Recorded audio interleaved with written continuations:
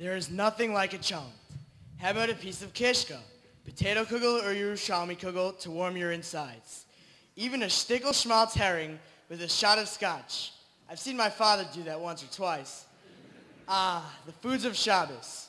The Gemara of Shabbos, Daf Kufiyas Head Amud Aleph, relates, the Roman em- emperor asked Rabbi Yoshua ben Chananya, why is it that, that your foods on the seventh day always have such a wonderful aroma? The sage replied, It is because of a spice that we have. Its name is Shabbos. According, a- adding this spice is what causes the aroma. Give us some of it, demanded the emperor.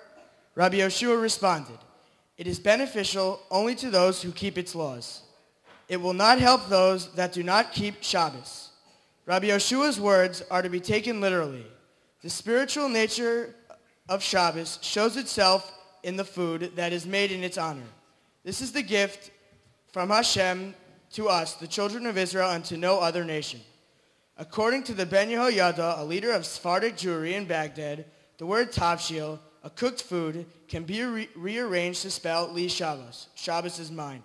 He tells the story of a Jew in his community who wanted to convert to Islam. According to the local law, to convert, he, he had to speak with the rabbi of the community first. Every argument mustered by the rabbi fell on deaf ears until he said, You and I both know how delectable the Shabbos food is to you. Remember, when you convert, the tavlin, the spice of Shabbos, will be gone. It will leave your foods bland. These words had the desired effect, and the man abandoned his plans. Continues the Ben Yehoyada. Tavlin, the word for spice, can be rearranged to spell snilech, pehid. When you cook for Shabbos, it is holy and is it a holy and lofty task. The Shulchan Aruch tells us that one should prepare meats and wine for the Shabbos feasts. The Mishnah Berurah adds that fish should be eaten as well. He says that the combination of the three is an allusion to the days of the Mashiach. According to the Taamei HaMinhagim, we eat fish on Shabbos because the eyes of a fish are always open, even when they sleep. In this, they are reminiscent their, of their Creator, whose eyes are watching us at every moment.